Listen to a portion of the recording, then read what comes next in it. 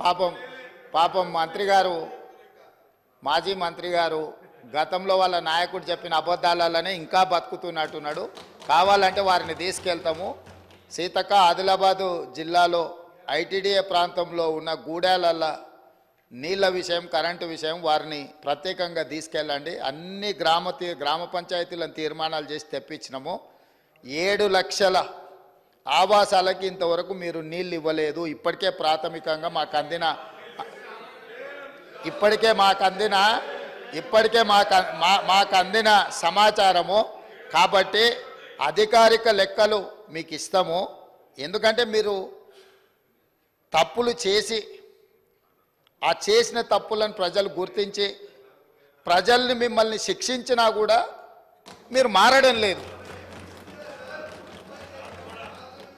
So ఆ దేవుడు మీకు ఒక మంచి ఆలోచనను కలిగించాలని మేము కోరగలం ప్రార్థన చేయగలం ఈ పక్క నుంచి. ఇంకా మేము చేయగలిగింది ఏముంది అధ్యక్ష? అందుకే అధ్యక్ష ఈరోజు మా ప్రభుత్వం తెలంగాణ అభివృద్ధి అంటే తండాలలో గూడాలలో కనీస సౌకర్యాలను ఏర్పాటు చేసినప్పుడే తెలంగాణ రాష్ట్ర అభివృద్ధి జరిగినట్టు అని బలంగా మా ప్రభుత్వం భావిస్తుంది.